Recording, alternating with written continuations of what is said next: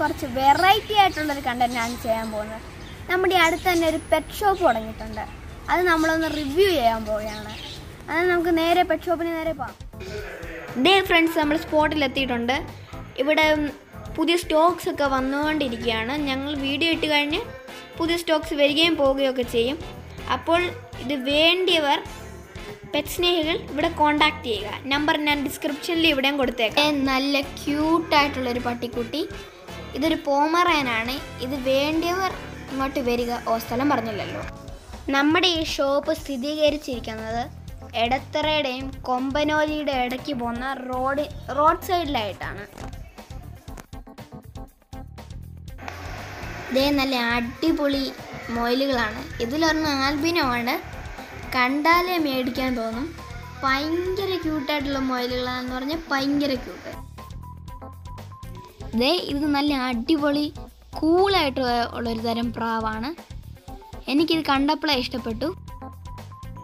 ദേ നല്ല സുന്ദരമായൊരു മയിൽപ്രാവാണ്. കാണാൻ തന്നെ എന്ത് ഭംഗി.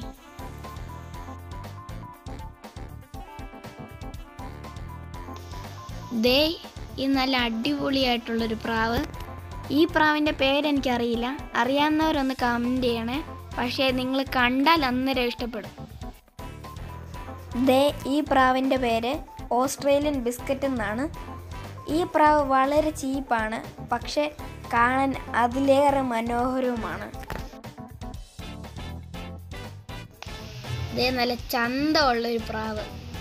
നല്ല സോക്സ് ഒക്കെ ഇട്ട് നടക്കുമ്പോൾ തന്നെ ഒരു മജസ്റ്റിക് ലുക്ക്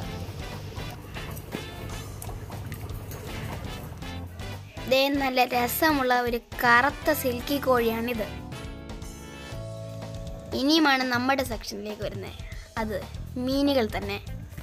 ഈ ഇതിപ്പോൾ നമ്മൾ കണ്ടുകൊണ്ടിരിക്കുന്ന മീ കോയിക്കാർപ്പും ഗോൾഡ് ഫിഷിനെയുമാണ്.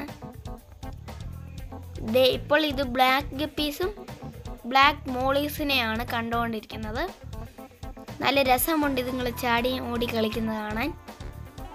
ഇപ്പോൾ നേണ്ട ബെറ്റ അഥവാ ഫൈറ്റർ എന്ന് അറിയപ്പെടുന്ന മീനാണ്.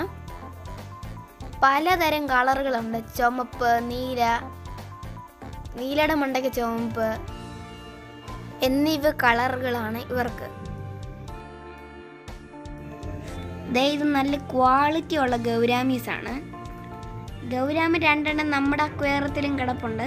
അത് ഇവിടുന്ന് മേടിച്ചാണ്. വളരെ നല്ല രസമാണ് ഇവർ ഓടിയും ചാടിയും കളിക്കുന്നത് കാണാൻ. ഇവരുടെ താഴെ റിബൺ ഉണ്ട്.